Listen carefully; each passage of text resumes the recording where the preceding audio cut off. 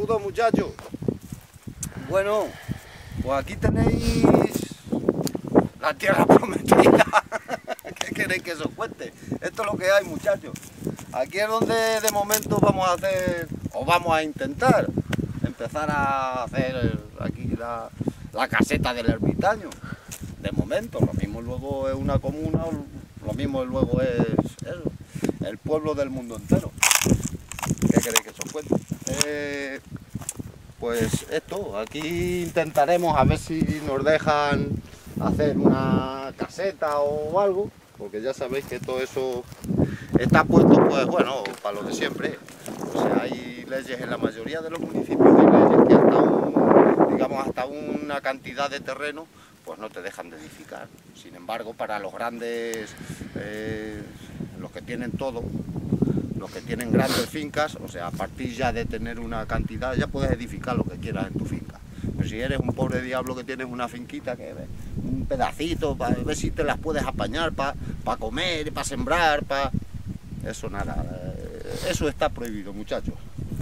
Así es que, pues bueno, hoy he estado aquí, ahí veis, bueno, toda la broza que he estado quitando, he estado rozando todo esto, quemando aquí una poca maleza que, bueno, tampoco mucha, lo que pasa que estaba piedra y bueno, aquí he estado saneando esto un poco y ya iremos aquí colocando aquí piedras y mientras a ver si voy moviendo un poquito el tema este de, de a ver si me dejan de hacer aquí una caseta o qué. Y ya pues eso, hacer aquí una huerta y un rollo. Aquí veis aquí veis por ejemplo bueno eh,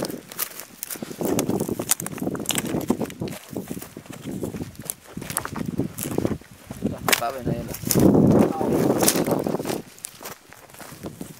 he dejado, veis que esto es la banda. Bueno, estaba aquí y aunque he estado quitando toda la maleza, pues ahí veis otra. ¿eh? Las he, bueno, las he saneado, he limpiado un poco el terreno.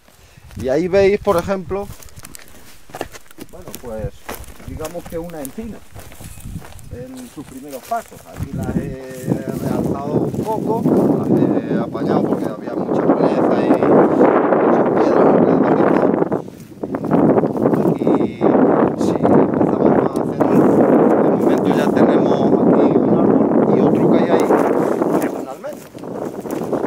Ya iremos viendo sobre la marcha, a ver si llega ahora el tiempo de empezar a poner unos esquejes, ya sabéis ramita de cualquier árbol en agua, se machaca el extremo que tenéis que en, en la tierra y ya está.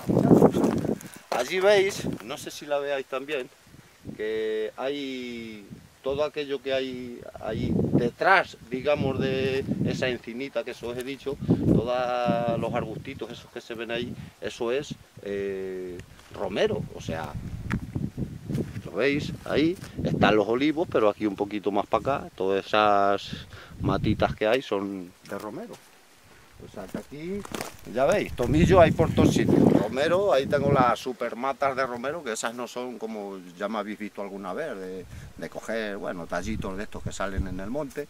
Esas ya son matas viejas de, de romero y ya veis, y la lavanda, o sea que para las infusiones, bueno, os tengo que ir explicando el tema de las infusiones porque hay muchas infusiones que nadie, o al menos no nadie, pero la mayoría ni se imagina. Y ahora vamos a ir, muchachos,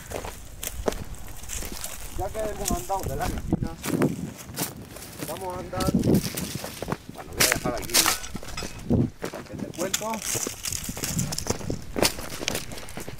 vamos a ir aquí. Y hay, sabéis que hay dos, tipos de dos tipos de encina, dos tipos de árbol que da bellotas por aquí. Hay muchos tipos, pero por aquí normalmente hay dos clases. Está la, digamos, eh, que nosotros le llamamos maraña, chaparra, son estas, que son las que dan, digamos, las bellotas amargas. Bueno, esta estaba cosida, están todas en el suelo, ya veis. Pero estas son amargas. Ahí las veis. Ahí quedan algunas todavía en...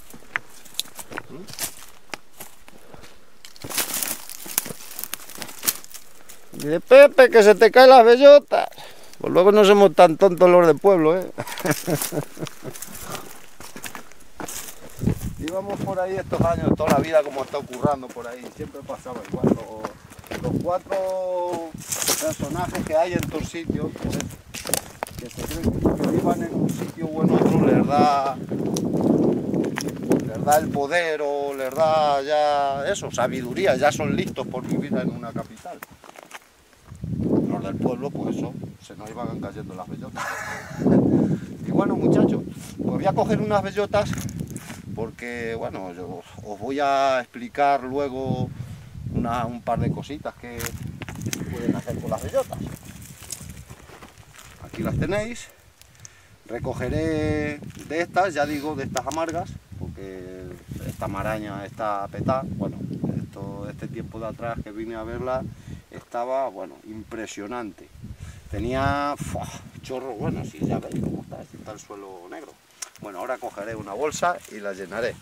Y eso que os cuento, muchachos, que la bellota, daros cuenta que la península ibérica si os dais cuenta, sobre todo por aquí por La Mancha, o sea, claro, ahora están todos los terrenos, digamos, de, laboreo, están todos sembrados, cultivados, donde no hay olivas hay viñas, algunas, digamos, siembras de cereal, no hay mucho más por aquí desde luego. Pero eh, sí mm, hay una cosa, que en todo el demás terreno, o sea, todo el terreno silvestre, eh, está aún o sea, eso quiere decir que lo que está mm, sembrado en su tiempo estuvo igual. O sea, todo lo que está silvestre está lleno de eso, de, árboles, por decirlo de alguna manera, de bellota, o sea, de las distintas formas.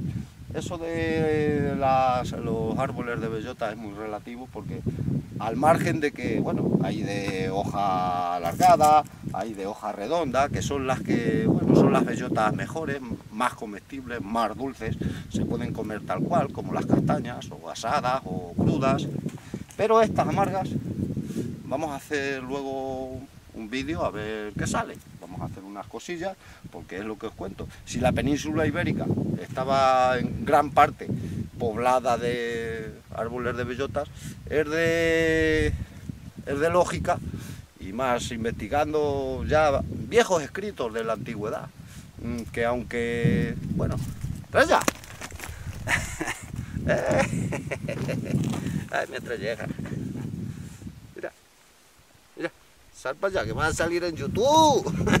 Te van. Mira, mira, estrella. mira. ¿Eh?